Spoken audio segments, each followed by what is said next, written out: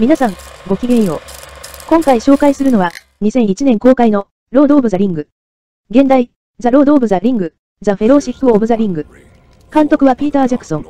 脚本はフラン・ウォルシュ、フィリッパ・ボーエンズ、ピーター・ジャクソン。主な出演は、イライジャ・ウッド、イアン・マッケラン、リブ・タイラー、ヴィゴ・モーテンセン、など。ある時、世界を滅ぼす魔力を秘めた一つの指輪がホビット族の青年フロドの手に渡る。しかし、指輪を取り戻そうとする闇の冥王サウロンの部下が迫っていた。世界を守るためには指輪を滅びの山の河口に投げ込み破壊するしかない。フロドを中心とする9人の仲間が結成され、彼らは遥かなる冒険の旅に出る。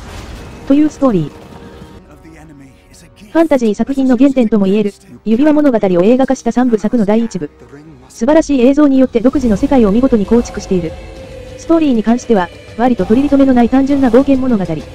話の進み方は壮大な RPG を見ているようで、旅の仲間が結成されるまでは少し退屈だったが、旅に出発してからはどんどん盛り上がり、結果的には満足。ということで、評価は。感謝